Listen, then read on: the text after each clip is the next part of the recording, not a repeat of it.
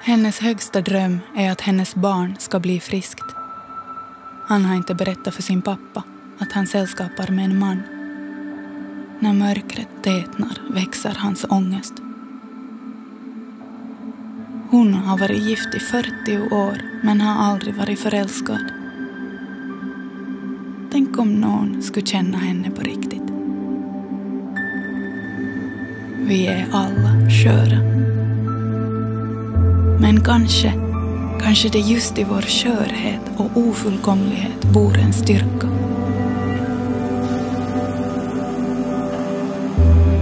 I bräckligheten bor din kraft. Det som gör dig unik. Våga möta din rädsla, för den vill säga dig något. Bara den som har mött sin sårbarhet kan bli lätt fri.